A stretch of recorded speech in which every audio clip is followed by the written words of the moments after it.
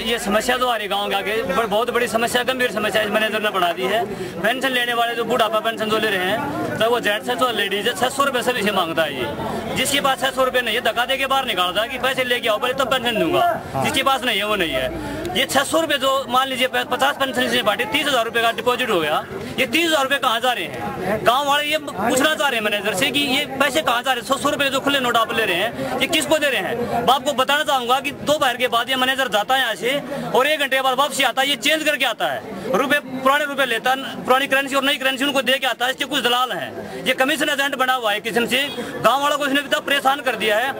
तीन चार दिन पहले एक बूढ़ा आदमी आता के मर गया होता। बड़ी मुश्किल से उसको बचाया है। अफरा तफरी का माहौल खुद मैंने दो दिन लिस्ट बनाई, जो सीनियरिटी के हिसाब से सिटीजन या लेडीज़ जेंट्स जो आए थे, मैंने दो दिन खुद लिस्ट तैयार की कि मैंने उन नंबर वाइज जो आप बुलाना नंबर एक नंबर दो, तीन, चार, पाँच पे, इसने लिस्ट को फाड़ दिया कि ये नहीं चलेगी। क्यों नहीं चलेगी? क्योंकि ये पचास टोकन बोलता है कि पचास टोकन में बांटूँगा, तीस, पैंतीस टोकन ये बांटता है, पंद्रह टोकन अपने पास ही रख लेते हैं। जो इनके खास सहते हैं, उनको दो पैर बाद बुलाते हैं टोकन डिस्ट्रीब्यूट करते हैं, और उनको बाद में पैसे दो हज़ार नहीं, पाँच पाँच, दस दस हज़ार रुपए उनको देते हैं। पूरे इकट्ठे हुए हैं या औरतों के साथ बहुत बदलता व्यवहार किया जा रहा है। किसी की चुन्नी उगा दिया किसी को गाड़ी दे दिया या किसी को धक्का दे दिया। ये जो मैनेजर है बहुत परेशान कर रहा है औरतों को भी बहुत को। भी आप क्या कार्रवाई चाहते हैं मैनेजर के खिलाफ? हम ये चाहते हैं जी आर पी आई है जो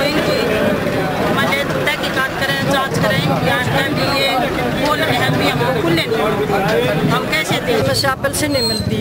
और तीन बिना की जब भी एक ही देर छह सौ रुपये मांगा। सौ हुआ पहले छह सौ लिया जब दो हज़ार का चार सौ मांग तीन बिना की पेंशन इकट्ठी होगी बिशा की समस्या होगी छत छह गेड़े मरवा कितने दिन, इतनी दूरी बैंक गया दूल्हे लंगड़े और क्यों कराओ बुढ़िया आप कितने दिन से चक्कर काटते हो सात सात सात सात सात वाले लोग आई सात चक्कर काट लिया बैंक के जब पेंशन देव है सरपंच है सरोज देवी उनका देवर है संदीप नाम से उसने यहाँ पॉलिटिकल इशू बना रखा है अच्छा। जब काम है पे अच्छा चल रहा है हम लोग टोकन बांटते हैं और सही तरीके से फेयर डीलिंग चल रही है पाँच सौ का नोट मुझे कल मिला है तो मैं आज बांटूँगा अभी आर टीम भी आ रही है तो वो भी यानी कि स्पष्ट चीज़ें बता सकते फ़ोन आया था गाँव कलाना बैंक बंद कर रहे हैं।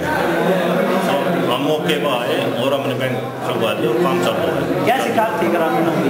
ग्रामीण ये कह रहे थे कि हिसाब लेंगे ये करेंगे भाई हिसाब किससे? हमने शांतिपूर्वक अपना काम चालू करवा दिया अब दो चार थे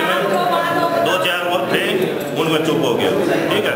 बहुत सारा काम अब आराम से अपना काम कर रहे अपने पैसे ले जाएँगे